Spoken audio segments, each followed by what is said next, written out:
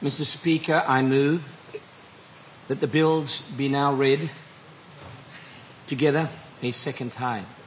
This is Treasurer Ian Ling-Stuckey in Parliament today, tabling the 2022 national budget.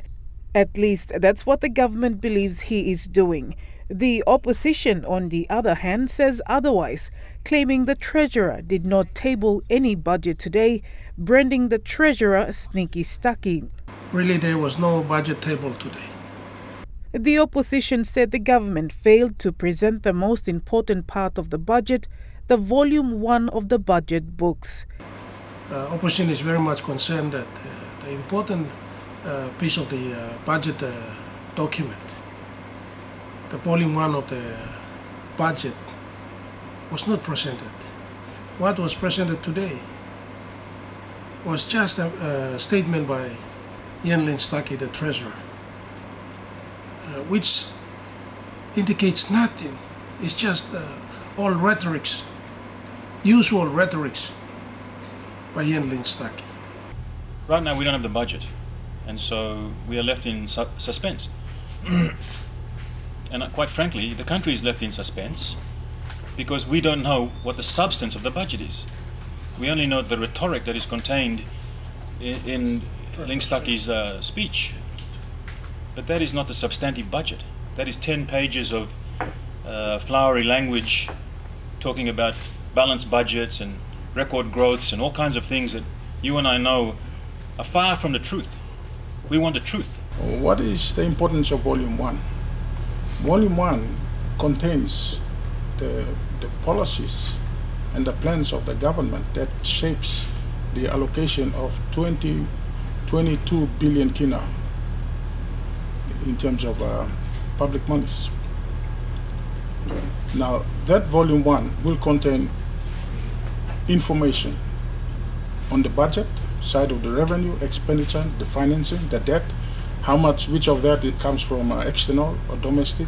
It contains all the information on the reforms that the treasurer is talking about in his speech. We want to know what reforms uh, is contained in the budget. So there are a lot of things that are missing. Namah says this is another illegal budget. So we take a treasurer statement as just a minister statement. It was not a budget statement. How can the opposition respond to the budget on Tuesday next week in the absence of a, a very important budget document, volume one? So we are saying that, the, that this government is very sneaky, and we have a treasurer that I call him uh, Sneaky Stucky. By not uh, following the budget process, by not uh, following the uh, proper uh, budget legal uh, framework. We want to know what are these measures, how are they going to affect our, our people, the business houses out there. Is this a good um, tax or not? Uh, these are contained in volume one, and if they withheld back volume one, it's like you know they're clipping our wings. We, we can't perform as the opposition uh, in terms of our mandatory role to give the government in check, to scrutinize the money plan. The budget is a is a very very important uh, uh, document and policy that will affect all our lives. Namah went on to criticize the government for Ling-Stuckey's proclamation that the Marape government is the infrastructure government. I have not seen and witnessed one, one kilometer of road being sealed by the Marape government. How can Marape government be an infrastructure government? That is why I say all of uh, Treasurer's statement is all rhetoric.